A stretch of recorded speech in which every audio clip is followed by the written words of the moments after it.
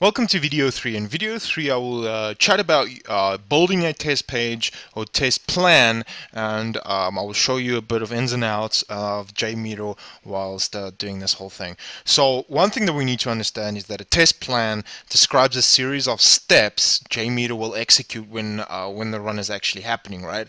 A, a, complete test plan will consist of one or more uh, thread groups, logic controllers, and sample generating controllers um, it will even, you know, include listeners, timers, um, assertions, and configuration elements.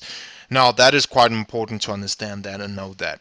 So, let's chat about adding and removing elements that's kind of the first thing uh, that we that you will be looking at and that you need to understand and that is um, of course adding and removing elements as I said so um, adding and removing elements um, to a test plan can be done by right clicking on an element in the tree and choosing the new element from the add list. Okay so that's what we're going to do um, right now. So I'm uh, I just need to uh, get uh, get to actually add um, the elements. For some reason uh, my mouse is uh, stuck. There we go. There we go. So what we're going to do is you're going to right click and you can actually add an element. Now you can actually add threads to the users, um, which we'll chat about in a bit.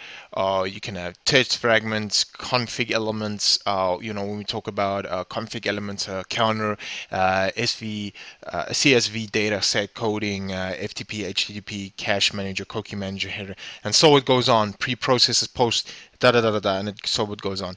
And that's how you actually add to your um, you actually test, you know, actually, um, you know, test plan. And uh, to remove an element, you'll make sure that the element is selected.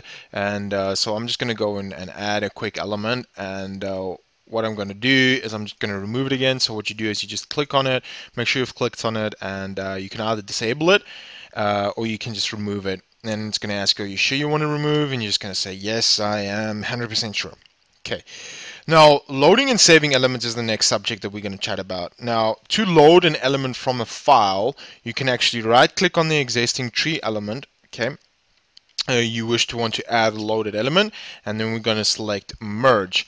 And uh, once you have clicked merge um, the option the option open box will appear and we can choose a file from there on um, that are saved. Now JMeter will merge the elements into the actual tree as well.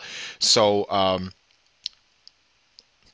yeah, to save the elements, we can just uh, right click an element and choose save. So if we have an element there, we can just right click and uh, save uh, whatever you need to save. So the tree is quite important to understand and the tree is quite important uh, for you to use during the whole process of working with JMeter. Now, um, uh, JMeter will also save elements selected plus the child elements beneath it. So if you've got your test plan, you've got a couple of guys below it.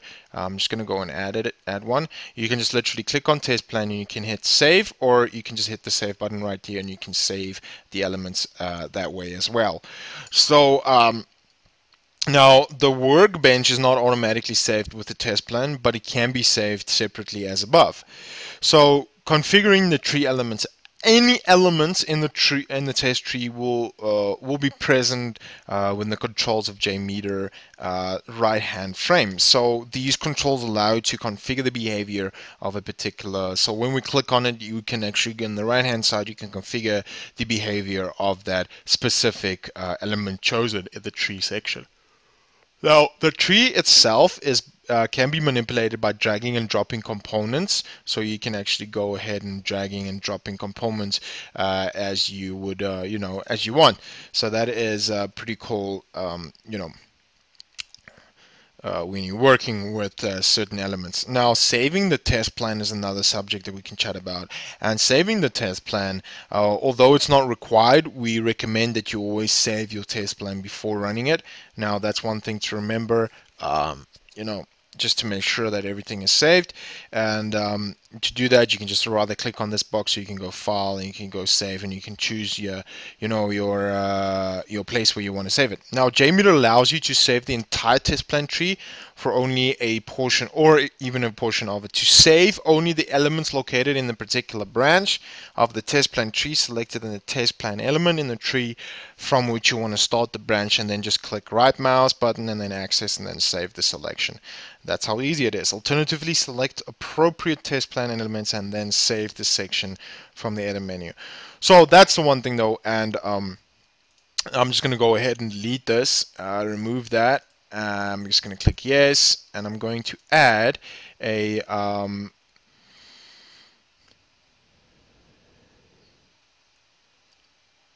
authorization manager. Let's just say that. And um, basically, how to run your test plan. Uh, basically, once you have chosen uh, the the uh, desired elements on the left hand side, you will click Control R or um, press the play button right here, or run and then start. And um, when JMeter is running, it shows you small green box on the right hand end of the section, just under the menu bar, uh, which we'll have a look at in the next video. And um, it will also have a run uh, if started you know it will be uh, you'll see it you will see when it's running and when you press stop it will stop. Now the numbers on the left on the green box we will chat about that in a bit. So uh, this was just you know unveiling to you exactly how everything works. In the next video we'll actually get down to uh, actual test of uh, JMeter. So this was video three, understanding um, the tree elements and understanding what can be added and be